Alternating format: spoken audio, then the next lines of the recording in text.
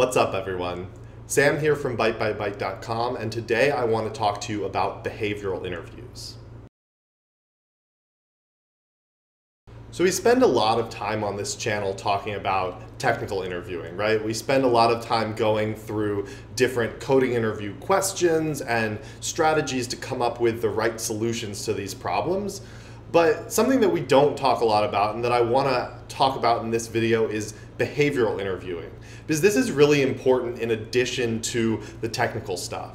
And what is behavioral interviewing? Right? Like so for those of you who don't know, behavioral interviewing is all the non-technical stuff. It's all the soft skills, it's all of the basically what you would think of if you thought of any other sort of interview.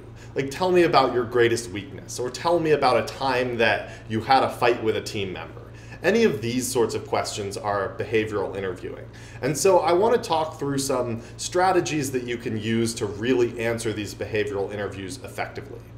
So, first, I want to go through a couple of mistakes that I see people make when they're doing behavioral interviews. So, the very first one is rambling.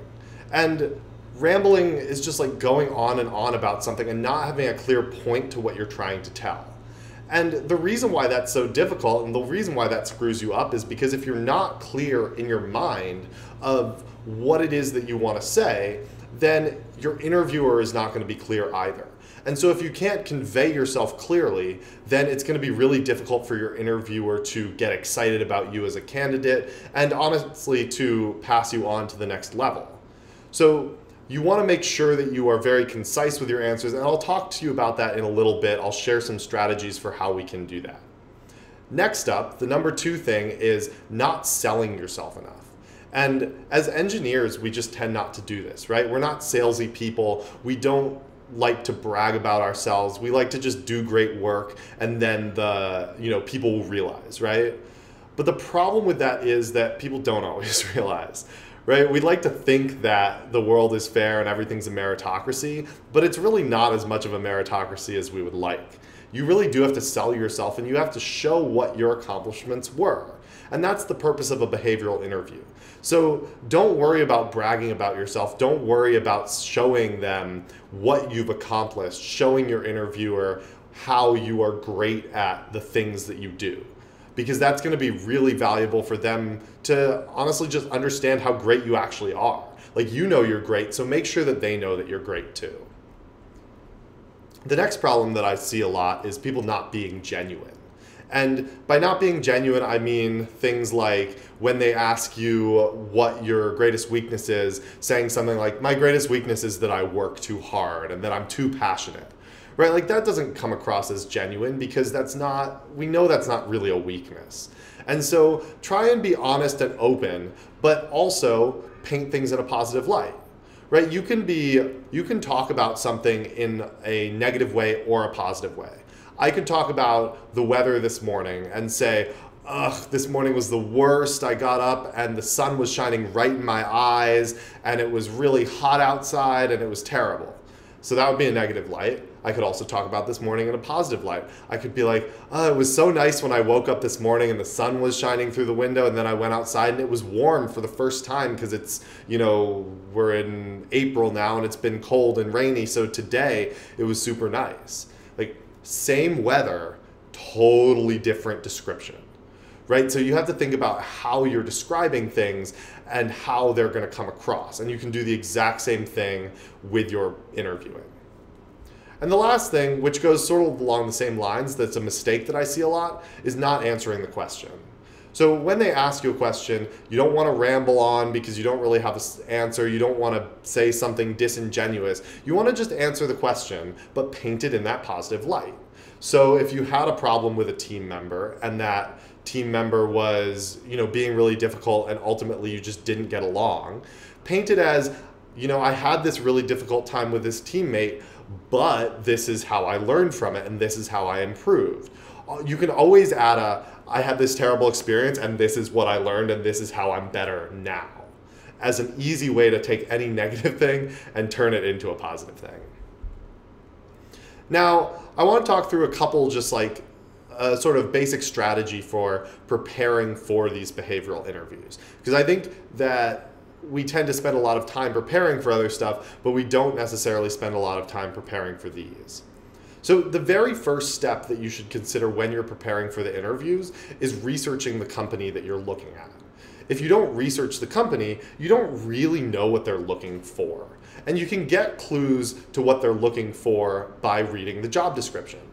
Like if they say that they're looking for someone who's uh, has strong initiative or strong leadership skills or anything like that, then how can you work those into your answers? You want to have an idea of like sort of go through the you can just go through the job description and say like what are the main things that they're saying that they'd like to see or look at the company ethos like with amazon they have their leadership principles understand that because that's going to allow you to then highlight those things in the behavioral interview in your answers so the next step step number two is to fill out the inter- your interview preparation grid and I'm going to link to below my blog post that covers all this stuff as well. And there will be a link to the interview preparation grid in there. But basically, the idea is you have different categories of question and you have different jobs. And so you want to come up with answers to basically what was my, um, like, what was my experience at this job that fits into each of the categories.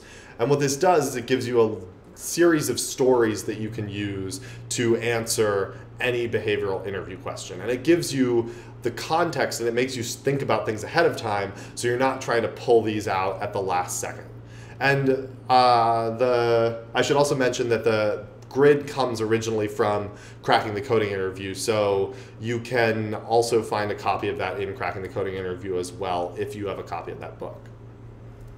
So the next thing that you're going to want to do, step number three, is to think about what are what is sort of like a quick description of each project. How do I set the stage for this project in like one to two sentences?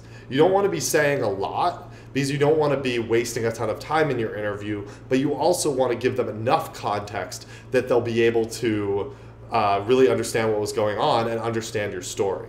So I think it can be really helpful to just sort of even write out like this is my two sentence description of each of the projects or each of the jobs that I had uh, and have those sort of prepared for your interview. Step number four is to practice, right? So start, and practice is actually going to get broken down into two steps. So first, you can practice using your interview prep grid right? You can practice using the grid and answering different questions and finding, you know, different stories in your grid that are going to work for you. And then after you've done that for a little bit, practice without using the grid. You know, you shouldn't have too much trouble remembering what's in there, and it's not like you have to memorize the grid, but you just want to have a good sense so that these things are top of mind for you and you can pull them up quickly in your memory and aren't sitting there being like, uh, mm, uh, can you give me like two minutes to think about you don't want to do that in your interview, right? So practicing and having a pretty good idea of these things is going to make it really helpful. And the last thing that I want to talk about in this video that I alluded to earlier is how to structure your answers. How to make sure that you're actually conveying yourself clearly in the interview.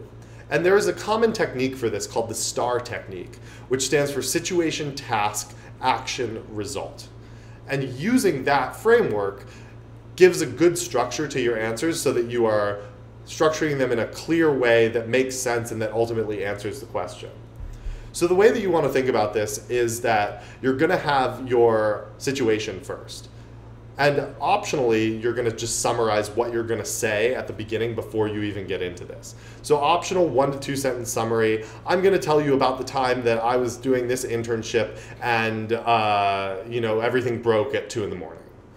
Right? So, that's your sort of overview. And then you're going to describe the situation. So, I was doing an internship at Facebook and I had been there for two weeks. It's like one to two sentences. Then you're going to describe the task you know, my uh, my uh, supervisor emailed me at two in the morning saying that everything was broken and that I needed to fix it. So then you describe the action. Again, like situation and task are both like one, two sentences each tops. Then you describe the action. So I got up and I rushed to the office and I spent, and then I went into the debugger that I had built and I started testing different things. And you know, you have more, I'm just making up a story here, but you have the detail. So fill in the detail here. And then finally, what was the result? So the result was that we actually, well, we fixed the bug, but then we also reduced the uh, rate of failure by like 20% or whatever it is. Here's where you sell yourself, right? Here's where you say, we got this awesome result from this, uh, from this thing that we did. And so that's the STAR method, right? So that's the situation, task, action, result. And by doing that, you're structuring your answer in a really clear way that shows them exactly how what you did relates to what they're asking you. So these are just a handful of strategies that you can use to really nail down your behavioral interviews. I go into a lot more examples in the blog post that I link to below, so definitely check that out. And or you can just go, I think it's bytebybyte.com slash behavioral interviews.